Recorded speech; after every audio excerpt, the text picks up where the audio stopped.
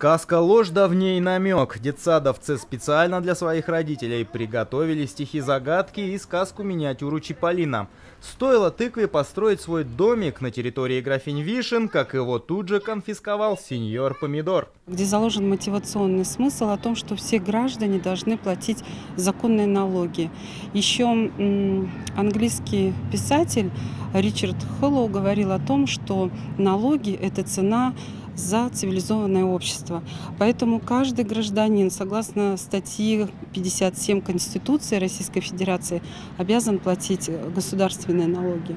Призвать родителей пришли и сами налоговики. Несмотря на то, что срок окончания оплаты 1 декабря, специалисты рекомендуют задуматься о платежах заранее. Ведь суммы за имущественные налоги не такие уж и крупные. Однако граждане умудряются накапливать долги. В частности, с начала этого года уже, скажем, 100 человек 100 человек, более чем 100 человек нашей республике служба судебных приставов арестовала имущество именно за долги по налогам. Да. Нам бы, конечно, не хотелось бы, чтобы такого доходило, поэтому призываем всех своевременно налоги оплачивать. Азбуку налоговых знаний в этом детсаду решили сделать традиционным праздником. После представления родители могли получить полную консультацию налоговиков. Байр Цыдыпов, Дарья Белоусова, Жаргал Царендашиев. Новости дня.